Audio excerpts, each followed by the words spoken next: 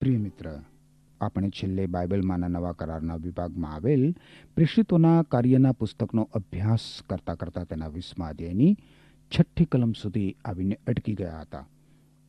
આજે મિત્ર, આપણે સાતમી કલમથી આગળ વધીને ચોવીસમી કલમ સુધી પહોંચવાના છીએ. ત્રોઆસમાં પાઉલની છેલ્લી મુલાકાત.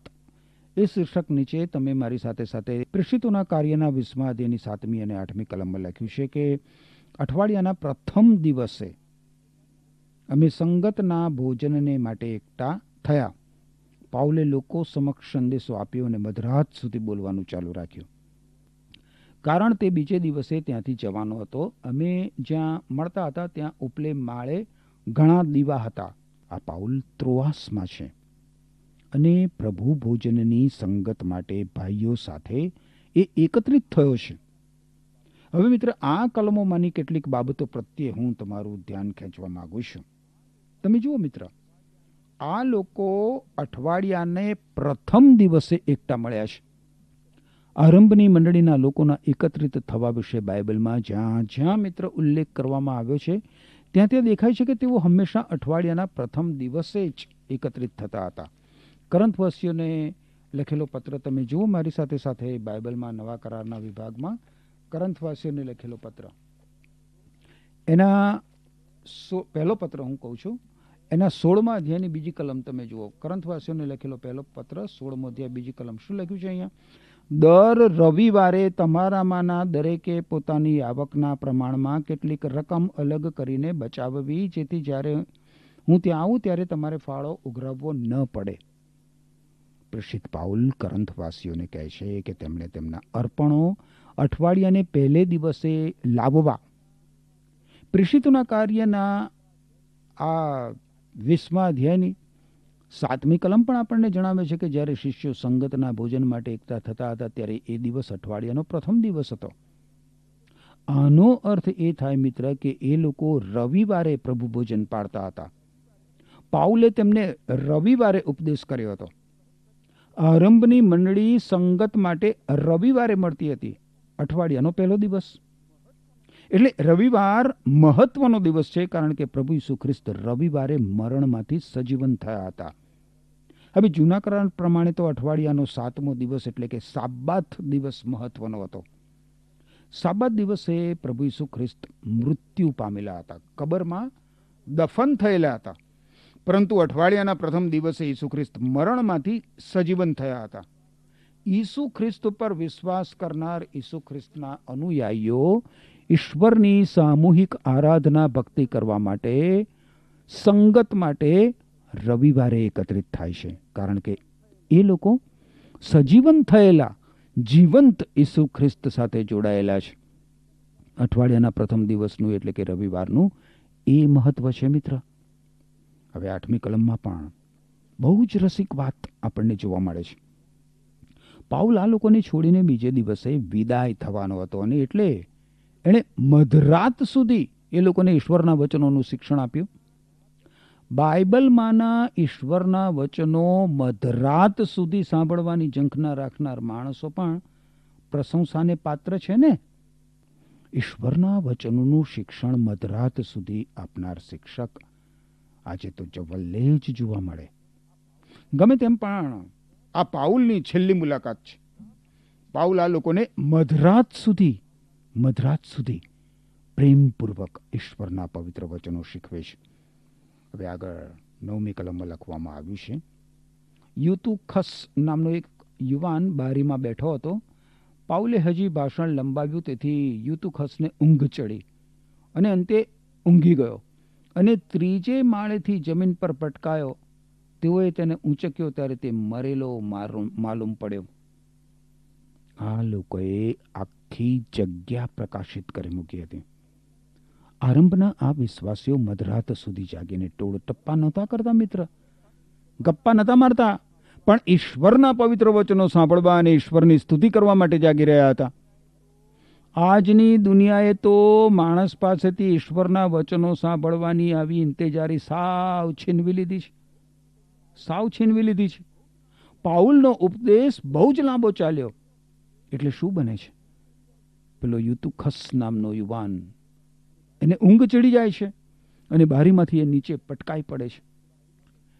યુતુખસ બારીમાં બેઠો હતો. બારીમાં. પાઉલે સાચે જ બહુ જ મોડે સુધી ઉપદેશ કર્યો, કારણ કે યુતુખસ નામનો યુવાન ઊંઘમાં આવીને બારીમાંથી ત્રીજે માળેથી નીચે પટકાઈ પડ્યો. અને મૃત્યુ પામ્યો. આ સાચે જ બહુ દુઃખદ ઘટના બની ગઈ હોત. પરંતુ જુઓ હવે શું બને છે. દસથી બાર કલમો જુઓ.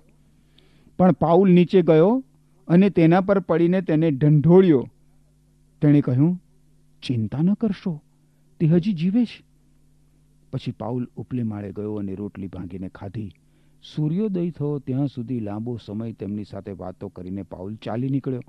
તેઓ તે યુવાનને જીવતો ઘેર લઈ ગયા અને પુષ્કળ દિલાસો પામ્યા. પાઉલે આ યુવાનને મૃત્યુમાંથી સજીવન કર્યો. તમને યાદ હશે મિત્ર, કે સિમોન પીતરે પણ દરકાસ નામની મહિલાને મૃત્યુમાંથી સજીવન કરી હતી. આ તો ઈશ્વરનું વિશિષ્ટ કૃપાદાન હતું, જે પ્રભુ ઈસુ ખ્રિસ્તના પ્રેષિતોને આપવામાં આવ્યું હતું. લૂક અહીં નોંધે છે કે યુતુખસ સજીવન થયો, તેથી લોકો પુષ્કળ દિલાસો પામ્યા. એનો અર્થ એ કે આ નવજુવાનને મૃત્યુમાંથી સજીવન થયેલો જોઈને લોકો રોમાંચિત થઈ ગયા. હવે પાઉલ આખી રાત પો ફાટતા સુધી ઉપદેશ કરવાનું ચાલુ રાખે છે. અને આપણા માટે કેટલું બધું પડકારરૂપ છે. આરંભના આ વિશ્વાસીઓ પાઉલનો ઉપદેશ સાંભળવા આખી રાત બેસી રહ્યા. આખી રાત આ વિશ્વાસીઓ ઈશ્વરના વચનો સાંભળવા કેટલા બધા ઉત્સુક હતા. કેટલા બધા ઉત્સુક હતા. બાઇબલમાં મિત્ર ગીતશાસ્ત્રનું પુસ્તક છે. એના એકસો ઓગણીસમાં અધ્યાયની કેટલીક કલમો હું તમને વાંચી સંભળાવું. બહુ અદભુત છે. બાઇબલમાં જૂના કરારના વિભાગમાં ગીતશાસ્ત્રનું એકસો ઓગણીસમો અધ્યાય.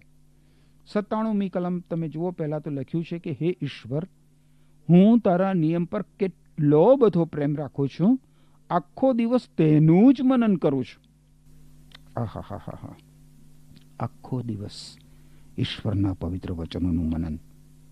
અને એ પછી એકસો ત્રણ નંબરની કલમ જુઓ તો ત્યાં લખ્યું છે કે, પ્રભુ, મારી રુચિને તારા વચન કેવા મીઠા લાગે છે.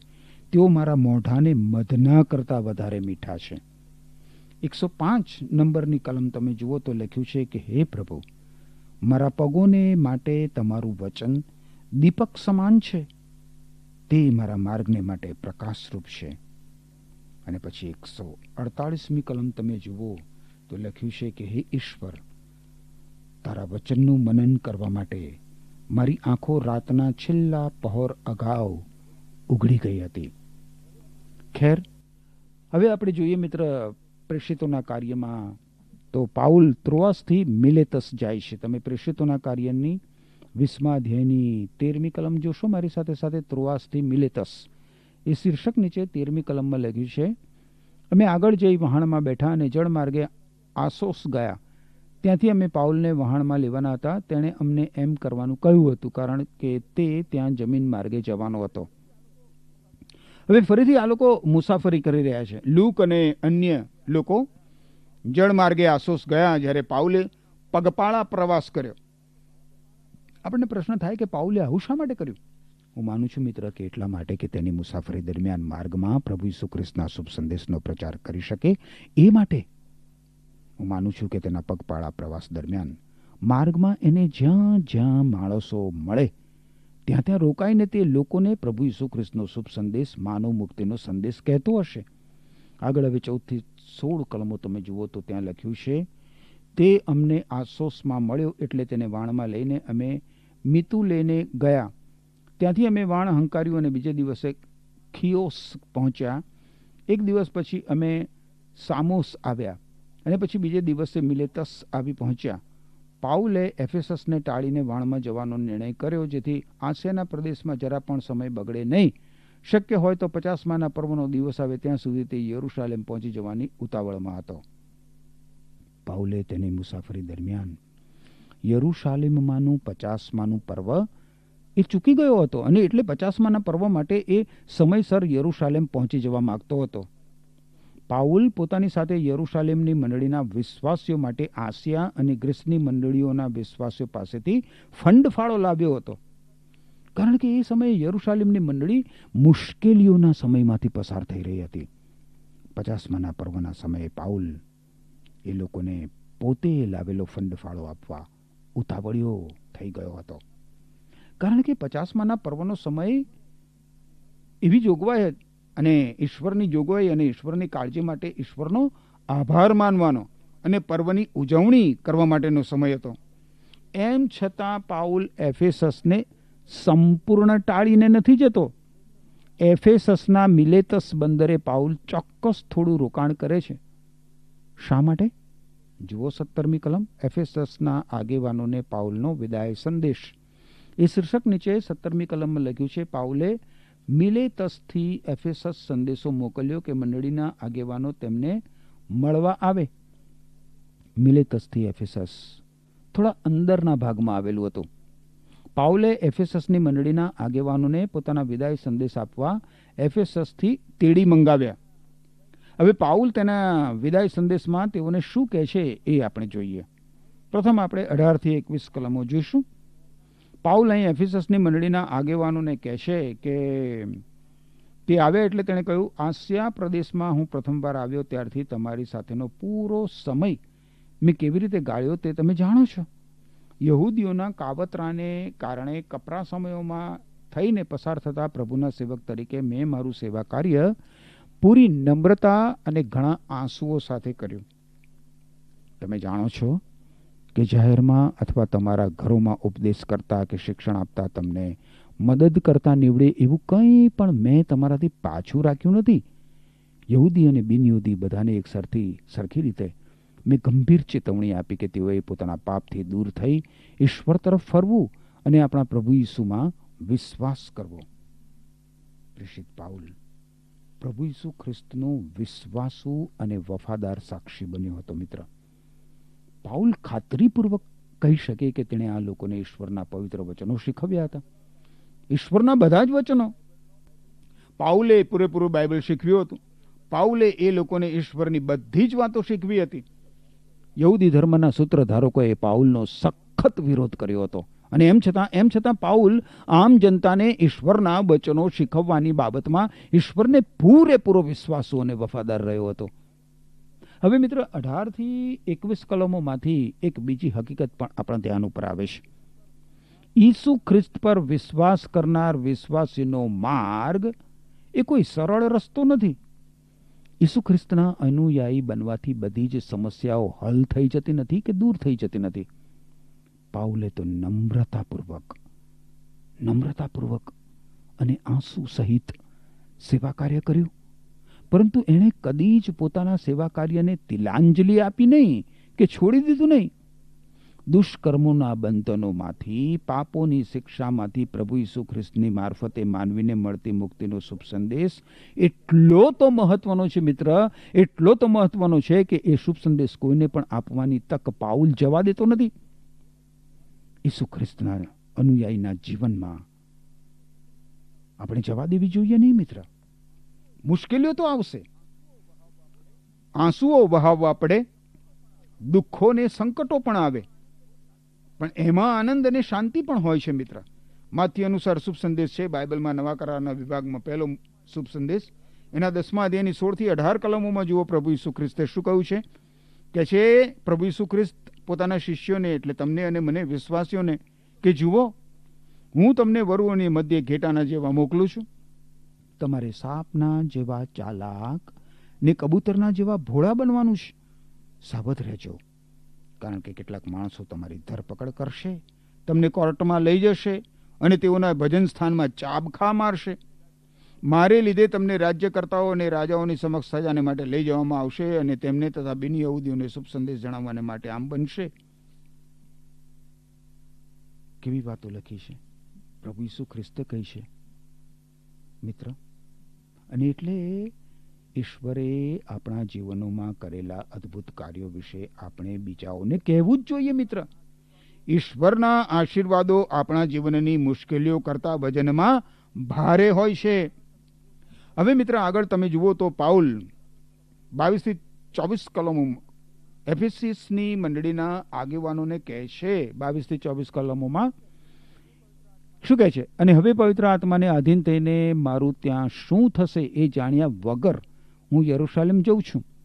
હું માત્ર આટલું જ જાણું છું કે પ્રત્યેક શહેરમાં પવિત્ર આત્માએ મને ચેતવણી આપી છે કે બંદીવાસ તથા સંકટો મારી રાહ જુએ છે. હું મારું સેવા કાર્ય સંપૂર્ણ કરું અને પ્રભુ ઈસુએ મને સોંપેલું કાર્ય પૂરું કરું તે માટે હું મારા પોતાના જીવનને કંઈ વિસાતનું ગણતો નથી. એ કામ તો ઈશ્વરની કૃપાનો શુભ સંદેશ જાહેર કરવાનું છે. પ્રભુ ઈસુ પ્રેષિત પાઉલ. અહીં જે શાહિદી આપે છે, એ બિલકુલ સ્પષ્ટ છે. હું માનું છું કે યરુશાલેમ જવામાં પાઉલ પૂરેપૂરો ઈશ્વરની ઈચ્છામાં હતો. પાઉલ કહે છે કે પવિત્ર આત્માને આધીન થઈને હું યરુશાલેમ જાઉં છું. હું જાણું છું કે પ્રત્યેક શહેરમાં પવિત્ર આત્માએ મને ચેતવણી આપી છે કે બંદીવાસ તથા સંકટો મારી રાહ જુએ છે. પાઉલ જાણે કે એમ કહેવા માગે છે કે હું મારા જીવનને કિંમતી ગણતો નથી. અરે જરૂર પડે તો હું ઈસુ ખ્રિસ્ત માટે મારું જીવન પણ હોમી દેવા તૈયાર છું. પવિત્ર આત્માએ મિત્ર પાઉલને સ્પષ્ટપણે બતાવ્યું હતું કે બંદીવાસ અને સંકટો પાઉલની રાહ જુએ છે. અને એમ છતાં પાઉલ પોતાના સેવા કાર્યથી પરોઠના પગલા ભરતો નથી. પાઉલનું દ્રઢ અને મજબૂત ચારિત્ર એફેસસની મંડળીના આગેવાનો માટે અસરકારક નમૂનો બની રહ્યું. એ આગેવાનોએ આગળ જતા પ્રભુ ઈસુ ખ્રિસ્ત માટે સંકટો સહન કર્યા હતા. હવે ચોવીસમી કલમ આપણા માટે કેટલી બધી પડકારરૂપ છે એ તમે જુઓ, કારણ કે આપણને એવું લાગે છે કે જો આપણે જીવનમાં સફળતા પ્રાપ્ત ના કરીએ, પ્રગતિ ના કરીએ, ધન દોલત ના મેળવીએ, માન અને કીર્તિ સંપાદન ના કરી શકીએ, મોજ મજા મેળવી ના શકીએ, કોઈ મોભો મેળવી ના શકીએ, તો આપણું જીવન એળે ગયું ગણાય. પણ પાઉલ તો જો પોતાનું જીવન ઈશ્વર માટે ખર્ચી ના શકે તો એના માટે જીવનનો કોઈ અર્થ નહોતો. એવું માને છે. ઈશ્વર માટે નહીં ખર્ચાનાર જીવન પાઉલની દ્રષ્ટિમાં મૂલ્યહીન હતું મિત્ર. પાઉલે પોતાના જીવનમાં જે કાંઈ મૂક્યું તે તેણે તેના જીવનમાંથી જે કાંઈ મેળવ્યું એ કરતાં વિશેષ મહત્વનું હતું. તમારા માટે શું અધિક મહત્વનું છે મિત્ર? જીવનમાંથી તમે જે મેળવો છો તે કે જીવનમાં તમે જે કાંઈ મૂકો છો તે, હવે ચોવીસમી કલમમાંથી આપણને એ પણ શીખવા મળે છે મિત્ર કે ઈશ્વરનું કાર્ય કરવા માટે દ્રઢ નિશ્ચયતા અને અવિચળ મન અત્યંત આવશ્યક છે.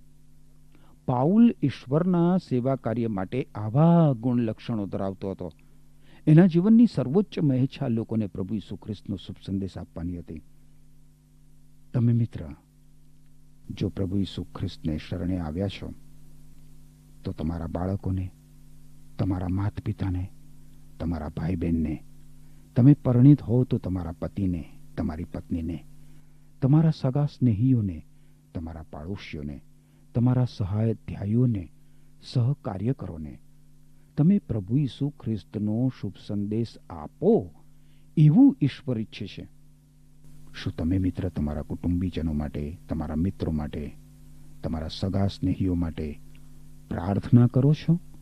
મારા પ્રશ્નો ઉપર વિચાર કરવા માટે ઈશ્વર તમને કૃપા આપો. આમેન.